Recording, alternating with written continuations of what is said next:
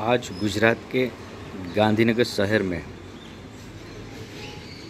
पूरा माहौल कोहरा छाया हुआ है।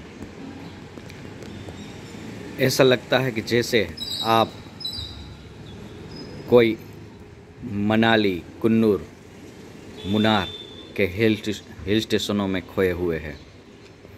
आज वाकई ही कुछ ऐसी फीलिंग्स हिल स्टेशन जैसी आ रही है कि जैसे कि हम मनाली, कुन्नूर और मुनार में रुके हुए हो। आप यहाँ से ये लाइव मेरे साथ देख रहे हैं, कोहरा। आज पूरे मौसम में कोहरा छाया हुआ है। अगर हम रोड पे निकले तो आगे हमारे जो गाड़ियाँ हो वो बिल्कुल दिख नहीं पाएगी। इतनी लो विजिबिलिटी है।